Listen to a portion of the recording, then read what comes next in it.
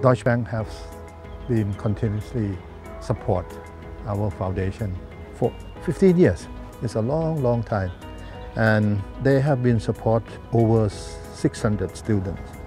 I'm in my final year studying tourism and hotel management and I hope to build a career in the hotel industry.